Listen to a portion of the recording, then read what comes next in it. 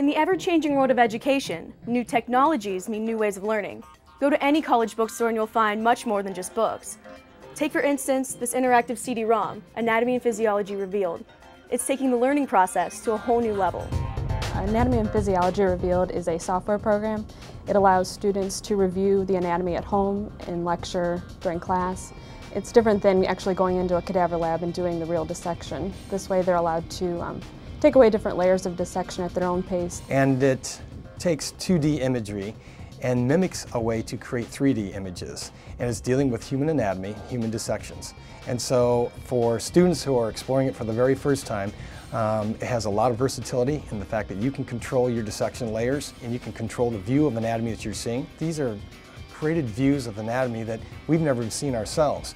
Even though we dissect and we see it layer by layer, we never have the ability to turn it transparent, stack it, and get this 3D imagery. So you can still see the skin and you can look right through it, almost like having x-ray vision. I think the students really like it. They really enjoy being able to learn the dissections. And I think for students in the undergraduate world, they don't have the ability to go into cadaver labs and see real live dissections. So this allows them to actually look at a dissection and it kind of comes to life for them and it has animations as well as a self-test. Um, there's also histology, so there's a lot of different avenues and a lot of different features about the program that makes it unique for a student to learn, and I think uh, probably very conducive to one to learn. While this software can be found on hundreds of campuses around the world, you may be surprised to learn that it was created by a team of experts from right here at the University of Toledo. It takes a big team. Um, we've got a team here in CCI of software engineers, multimedia specialists, medical illustrators, and then we also work with a team of content consultants, which are anatomists. We contribute the content to the program.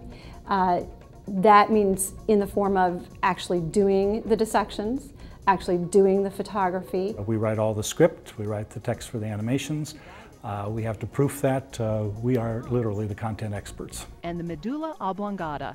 And we go layer by layer through the dissections all the way down to the skeletal components. And then we take these layers and these photographs and we part them into Photoshop and we critically align the anatomical structures, do some retouching, and then we stack it and assign an opacity slider, which allows us some control over the visualization process. I think the situation here at uh, the University of Toledo is a bit unique uh, in that you have uh, the content experts, the faculty that are actually in the classroom teaching this course, uh, that are providing the material, uh, and then right on the same campus we have uh, the technology people that we can work with very closely on a daily basis. I think you'll find that really uh, fairly unusual.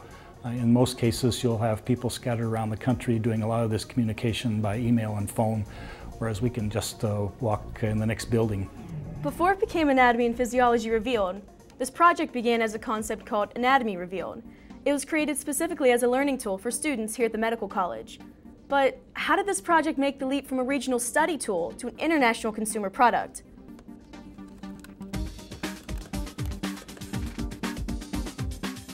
After we started to put together a number of these images, we put them on our website to just show everybody what we were doing and maybe draw some interest to see if there was some more investigation that could take place.